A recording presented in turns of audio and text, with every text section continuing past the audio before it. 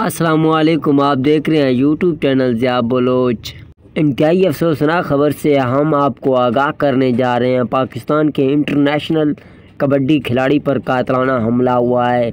हमला कहाँ हुआ है, किस वक्त हुआ है, और वो खिलाड़ी कौन थे, पूरी तफसील के साथ बताने जा रहे हैं। बट उससे पहले हमारी दरख्वास्त है, आप हमारे चैनल को ज़रूर सब्सक्राइब करें, बेल आइकॉन का बटन भी प्रेस कर लें, ताकि इन्फॉर्मेशन आपको बर वक्त मिलती रहे। पाकिस्तान के कबड्डी खिलाड़ी, जो पाकिस्तान की कबड्डी टीम का हिस्सा भी थे, मुशर्रफ जंजुआ पर फैसलाबाद पर कातलाना हमला हुआ है।